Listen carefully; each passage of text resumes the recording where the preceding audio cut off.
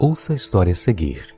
Um idoso, em uma conversa online com seu filho médico, o qual mora em outra cidade, avisa que a esposa estava ficando surda e pede para ele dar uma olhada na mãe.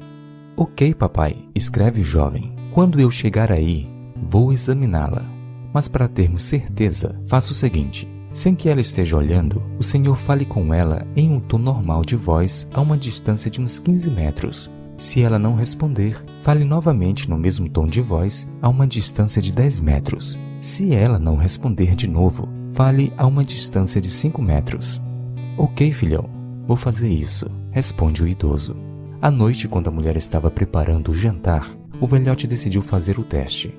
Calculou mais ou menos a distância em que estavam um em relação ao outro e perguntou: Maria, o que teremos para o jantar? Ela não respondeu nada aproximou-se cinco metros e, mantendo o mesmo tom de voz, repetiu a pergunta: Maria, o que teremos para o jantar? Novamente ela não respondeu nada. Aproximou-se mais cinco metros e perguntou de novo: Maria, o que teremos para o jantar? Mais uma vez ela não respondeu nada. Por fim, ao encostar-se às costas da mulher, ele voltou a perguntar: Maria, o que teremos para o jantar? Credo, velho, respondeu a mulher. Da próxima vez que o nosso filho vir nos visitar, vou pedir para ele examinar você, pois eu acho que você está ficando surdo. Essa é a quarta vez que eu respondo que nós vamos ter frango para o jantar. Apesar de hilária, esta história mostra que a surdez é o problema auditivo que nos impede de ouvir o que os outros estão nos falando.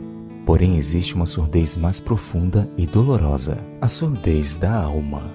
Esta é a incapacidade de ouvir os alertas que a vida nos dá e pouca esperança há para aqueles que não ouvem os sinais. Esses, mesmo com os gritos que Deus envia, simplesmente ignoram e fecham os ouvidos.